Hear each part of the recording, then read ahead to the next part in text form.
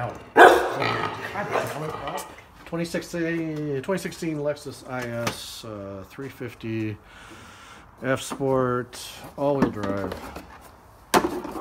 Yada yada. So that has three prongs uh, that you uh, pop that plastic cover off. This is super easy. The throttle body is uh, it's running at a high idle. So it's got about 65,000 miles on it, and uh, I think that it's the throttle body that needs to be cleaned. So this is one of the easier cars that you can do this with. Um, so just pop your air box off, your prongs, pull uh, that little wire clip off, pull the hose off, that hose,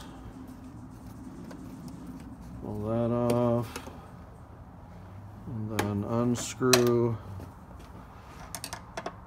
this hose clamp.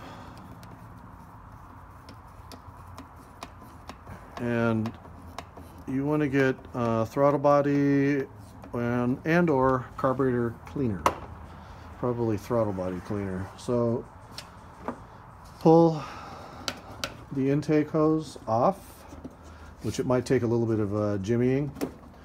And then uh, pull it up to the side like so.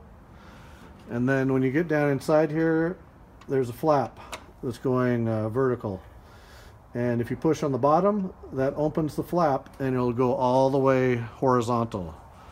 So you want to take a clean very clean fresh new rag and put some of your throttle body uh, cleaner on it and get in there and wipe around the bore and try to get on the bottom of the of the blade. And go up and then clean the top of the blade off. And just be very careful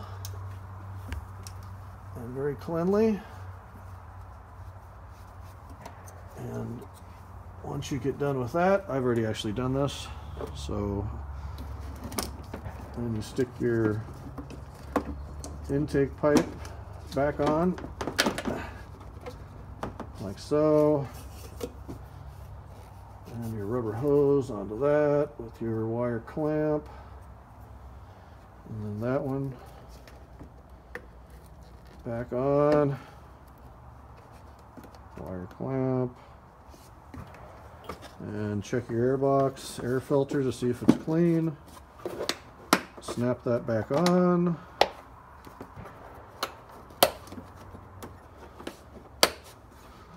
Tighten your uh, hose clamp on your